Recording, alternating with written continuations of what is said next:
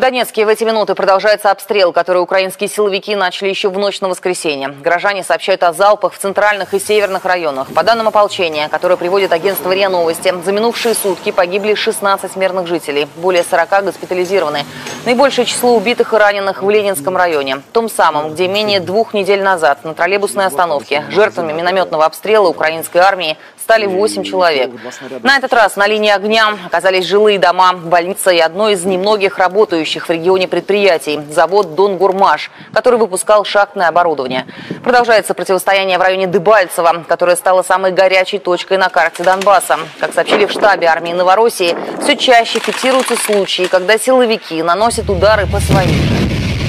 Сегодня днем в Олигорске трое украинских военнослужащих, заблокированных в одном из жилых домов на восточной окраине города, после переговоров согласились добровольно сложить оружие и сдаться подразделениям армии ДНР. Однако в ходе внезапно начатого обстрела этого района из украинских градов в результате прямого попадания в дом реактивного снаряда все они погибли. На днях вооруженным силам ДНР удалось пресечь подвоз боеприпасов окруженным силовикам. Вместе с тем украинским военным позволяют беспрепятственно эвакуировать раненых. Сейчас ополчение контролирует полтора десятка населенных пунктов в окрестностях Дебальцева. Цель армии ДНР – как можно дальше отбросить украинскую артиллерию от крупных городов Донецка и его спутников, чтобы больше не гибли мирные граждане. Из района противостояния. Репортаж Антона Степаненко. Пусть приезжают, забирают. Приедут вряд ли, а заберут тем более. Армия ДНР сдавливает Дебальцевский котел, в который попала восьмитысячная группировка украинских войск, отбивая у нее захваченные раньше поселки. На этот раз освобождено Никишино на восточном направлении этой наступательной операции. Это позиции украинской армии на окраине села Никишино. Оборону здесь они держали 4 месяца, до вчерашнего дня, пока эту часть села штурмом не взяли части Донецкой армии. Штурмовала вторая рота первого славянского батальона. Победная атака продолжалась 7 часов. Начали в полночь, закончили под утро, без потерь. Успех этой операции во многом его заслуга. Захватив накануне двух пленных, они получили информацию о системе обороны противника, причем брали дерзко, просто подойдя к обедавшим солдатам, попавшимся им случайно. А вообще в этой вылазке его группе надо было подбить танк. Зашел к ним, говорю, о, привет, пацаны, вы что тут? А Караб говорит, вы что, тут шашлык жарите или что? Они говорят, да не тушенку. Я говорю, а чей танк? Они наш танк. Я говорю, кто у вас, говорю, командир? Они батя. Я говорю, ага, приклад раскладываю. Все, говорю, правильно. И забираем двоих. Не выдержав атаки ополченцев, солдаты стали отходить в спешке и налегке. Нам показывают оборудованные в погребах укрытия, набитые продуктами и боеприпасами. Такими припасами, как у них, они, они бы еще точно месяц без подвоза удерживали его может даже и больше. Ну, припаса на батальон точно было. Здесь же находим детские рисунки к Новому году, которые вроде как должны были поднять боевой дух защитников украинского отечества. Но выходит, что поднять не удалось. Бросали даже вооружение. То, что пригодится, ополченцы уже не первый час складывают в грузовики. Здесь и ящики с патронами, выстрелы гранатометом, в пирамиду собраны противотанковые мины, рядом коробки с противопехотными. Вот, одежду побросали. Вот, под одеждой заряды на РПГ. Вот, новые, они побросали их. Но главные трофеи – три боевых машины пехоты. Они хоть и подбитые, но можно отремонтировать. Танками их буксируют в тыл. Окопы, блиндажи и практически в подвале каждого дома огневые точки. Украинские части зарылись в землю в Никишино основательно. До войны в Никишино было примерно 700 человек. Практически все разъехались. Из тех, кто остался, освобождения поселка дождались лишь 9. Николай один из них. Теперь, как надеется, жена и дети смогут вернуться. В этой части поселка его дом пострадал меньше других. Конечно, рад, конечно, рад. Я хочу уже и жену увидеть, и своего, как говорится, внука, все. Давно не видели? Да. Где-то с октября месяца. На фоне боевых действий в Донбассе освобождение всего лишь одного поселка Никишина может казаться незначительным.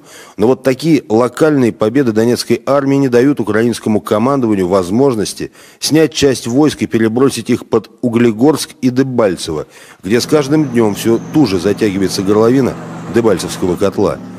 Антон Степаненко, Артем Григорян, Рушан Умяров, Первый канал, Донбасс.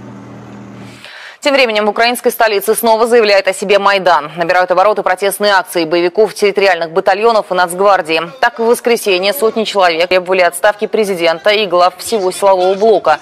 Они упрекают власти в том, что реформы буксуют, обещания, которые давались во время февральского переворота, не выполняются, а коррупция и кумовство процветают. Манифестанты обещают целую серию подобных митингов на этой неделе. Ближайший намечен на завтра у стен Генпрокуратуры. Но в регионах не стихают волнения по поводу мобилизации, которая, по сути, превратилась в принудительную. На днях министр обороны Степан Полторак посетовал, что в стране 80% уклонистов и самые непатриотичные граждане пытаются скрыться за границей. Теперь мужчинам призывного возраста, чтобы уехать с Украины, придется предъявлять некую справку из военкомата. Но сотрудникам комиссариатов становится все сложнее выполнять свою работу. Так, в одном из поселков Донецкой области, той части, которая контролируется силовиками, к военкому пришла толпа местных жителей, преимущественно женщин, чтобы выяснить, когда из региона выведут тех солдат, которые уже есть. Значит, отсюда войска уйдут, когда уйдут российские войска.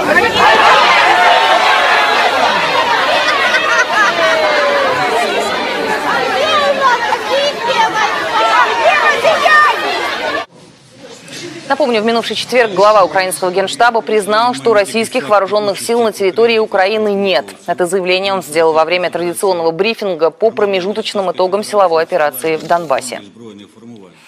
Херсонской области выясняют причины взрыва, который прогремел в полевом лагере территориального батальона вооруженных сил Украины. В результате погибли 6 солдат, 11 получили ранения.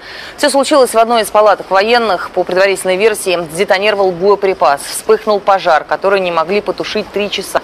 Расследованием, помимо военной прокуратуры, занимается еще и служба безопасности Украины.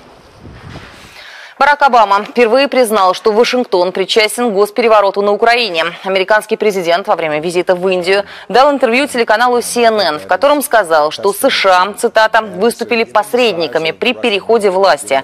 Обама также подчеркнул, что Соединенные Штаты продолжат оказывать поддержку Киеву и странам НАТО, которые граничат с Россией, и одновременно с этим будут усиливать давление на Москву. При этом он отметил, что военный конфликт между США и Россией не в интересах Вашингтона и всего мира. Тем временем временем в окружении Обамы снова заговорили о возможных поставках на Украину оружия. Как сообщает американское издание «Нью-Йорк Таймс», после серии неудач украинских силовиков к предоставлению летальной военной помощи склоняются командующие силами США и НАТО в Европе генерал Филипп Бридлов. Также вопрос готов обсуждать глава Госдепа Джон Керри и советник президента по национальной безопасности Сьюзен Райс. По информации издания, речь идет об оборонительном вооружении и технике. Это в том числе противотанковые ракеты, дроны и радары. Греция готова отказываться от исторических связей с Россией. Об этом заявил глава греческого МИДа Никос Кадзиас. По его словам, Афины могут стать посредником в отношениях Москвы и Брюсселя. Напомню, в ходе состоявшейся на прошлой неделе встречи руководителей внешнеполитических ведомств стран ЕС глава МИДа Греции фактически заблокировал введение новых санкций против России. Позиция Афин вызвала обеспокоенность в Европарламенте. Его глава Мартин Шульц назвал новое греческое правительство неопытным и напомнил, что именно ЕС спас страну от дефолта. В ответ министр финансов Греции на встрече во Франции уже отказался от нового кредитного транша. В Еврокомиссии тем временем заговорили о ликвидации формата тройки международных кредиторов для Греции. Большая часть книг фундаментальной библиотеки РАН, где произошел пожар, находится в удовлетворительном состоянии и подлежит восстановлению. Об этом сообщают по МЧС. Кроме того, спасатели, которые обследовали здание, дали заключение о том, что оно устойчиво, ущерба несущим конструкциям нанесено не было, а это значит, нет угрозы дальнейшего обрушения. Не исключено, что уже сегодня сотрудники смогут вернуться на рабочие места, но только в ту часть здания, которая не пострадала. Причину ЧП устанавливает следственная группа. Напомню, все произошло вечером 30 января. Тушили библиотеку больше суток. Теперь о программе, которая набирает все большую популярность у сельских жителей. Социальный контракт. По сути, это договор, согласно которому люди получают от государства средства, необходимые, к примеру, для начала собственного дела. Тысячи семей уже воспользовались этой возможностью. Из Владимирской области репортаж Андрея Кузнецова. Завели поросят. Вот здесь они у нас живут. Открыть собственную мини-ферму Надежда и Сергей Федоровы мечтали давно, но доходов сельского почтальона и водителя, признаются, не хватало. Стартовый капитал 60 тысяч рублей они получили под программе поддержки малоимущих семей. Родители всю жизнь держали. Ну, раньше всю жизнь ну, держали. Не, не все страшно было начинать. То есть, как бы оно знакомо было.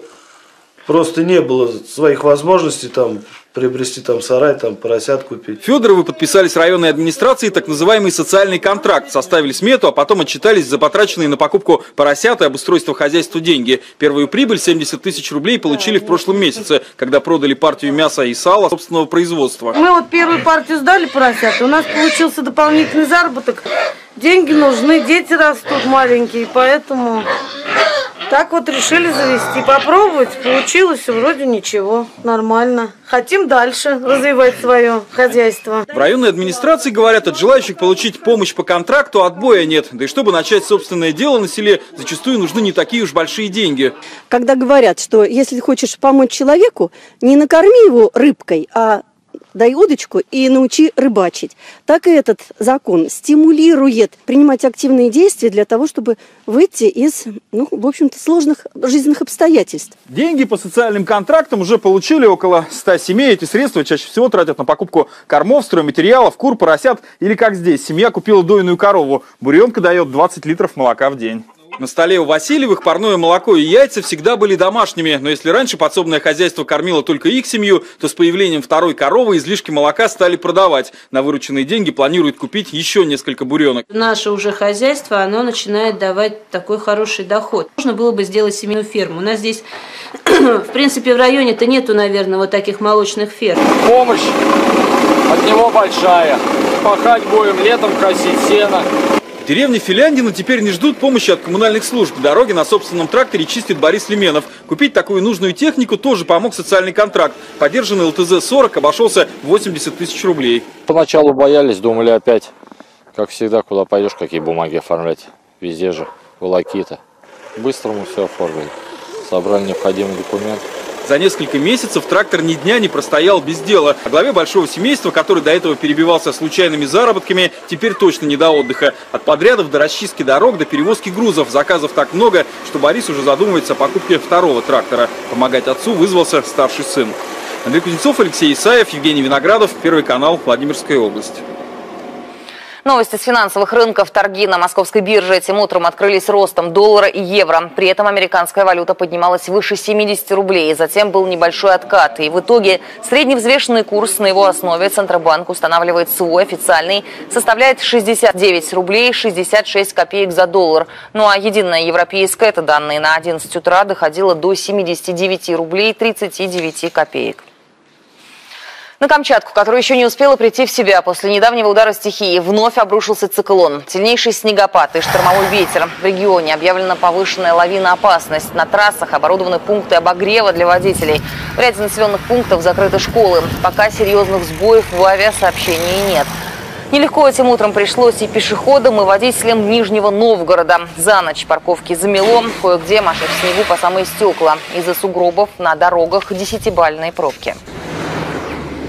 В России День воинской славы. 72 года назад завершилась Сталинградская битва, которая стала переломной в ходе Великой Отечественной войны. Событие, приблизившее победу. Ведь с этого момента стратегическая инициатива оказалась у советских вооруженных сил, и они удерживали ее до полного разгрома фашистов. Памятные мероприятия в эти дни проходят повсюду, а в Волгограде представители патриотических клубов воссоздали один из самых главных эпизодов – пленения немецкого фельдмаршала Фридриха Паулюса. Соблюсти историческую достоверность старались во всем. Даже провели спектакль в том самом подвале, где прошел первый допрос. Среди зрителей были те, кто пережил войну в Сталинграде. Люди признают, события 70-летней давности и сегодня свежи в памяти. Репродукторы по улицам стояли и предупреждали граждане, воздушная тревога. Люди пугались сразу, крики, шум, все бежали куда-то, прятались. Вот это было страшнее всего. Битва за Сталинград длилась 200 дней и стала символом мужества и стойкости, проявленной бойцами Красной Армии. Сегодня юбилей отмечает человек, без которого современную ядерную физику просто невозможно представить. Академику Евгению Велихову 80. Выдающегося ученого уже поздравил президент. Владимир Путин встретился с юбиляром в Новоогареве. Он сообщил, что подписал указ о награждении Велихова орденом за заслуги перед Отечеством первой степени, ну и преподнес символический подарок. Хочу вас поздравить с праздником с вашим, с юбилеем, с днем рождения. Вы очень известный и выдающийся ученый для нашей страны, для ваших коллег э, за границей. Ваши заслуги признаны во всем мире. Вы один из руководителей советской ядерной программы, э, участник ликвидации аварии на а, атомной электростанции Чернобыльской. Э, до сих пор продолжаете работать активно в э, ядерном центре в нашем Курчатовском институте. Я, знаете, вот хотел бы вам такой личный подарок преподнести. Знаю, что вы в детстве увлекались конным спортом. Да, я женился из этого. Ну вот. 56 лет живем. Это будет вам напоминать. Это первое. А второе, хотел бы сказать, что э, государственную награду, э, орден за заслуги перед Отечеством первой степени, конечно, будем вручать в Кремле. Поздравляю. Спасибо большое. О человеке, который смог приручить энергию солнца. Репортаж Ольги Паутовой. Доска с решениями, которые внезапно приходят на ум, книги по физике, стоящие рядом с теорией музыки и томиком стихов, и десятки альбомов с записями из командировок на полках рабочего кабинета. Некоторые из них Евгений Велихов привез из Чернобыля. Разрушенный реактор ученый обследовал уже через несколько дней после катастрофы. Уехал на три дня, а вернулся только через полтора месяца с огромной корзиной клубники в руках. С клубникой ситуация такая. Сама ягода, она не набирает активности, а листик, ну, листик надо оторвать. Привез. Жена говорит, да ты что, с ума шел? Привез клубнику из Чернобыля. Вот э, я говорю, ничего особенного, смотри, померяй. Ну, померили, она немножко звенит. А я говорю, теперь меня померяй. Она померила, это сто раз больше звенит. Я говорю, ну будешь со мной спать? Она говорит, ну а что делать? Ну давай-то съеди вот клубнику. Съели. Увидев последствия взрыва своими глазами, Велихов убеждает Рейгана начать переговоры по прекращению ядерных испытаний, а потом задумывает, казалось бы, невозможное – решить все энергетические проблемы планеты. Он создает свое собственное Солнце на Земле – термоядерный реактор. Самый смелый научный проект столетия. Так детище Велихова окрестила мировая пресса. Сегодня уже понятно – термоядерная энергия – вопрос ближайших десятилетий. Вся энергия, которую мы получаем с вами, вот э, используем, электрическая, вся энергия на Земле – она происходит от Солнца. А Солнце – это термоядный реактор. Таким образом, вся наша энергия термоядная.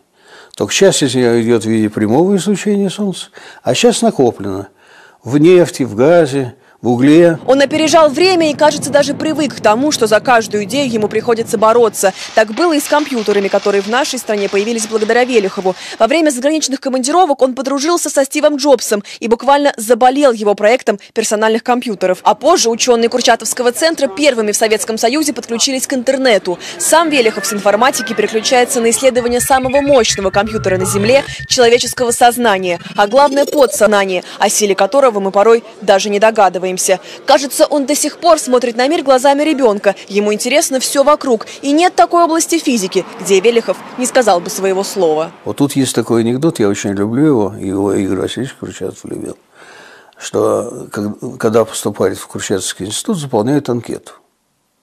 И в анкете есть такие, такой вопрос, род занятий. И одна дама, которая поступила, написала, занятия были, но родов не последовало.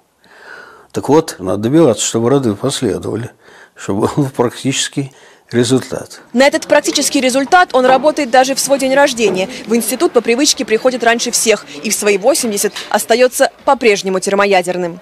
Ольга Паутова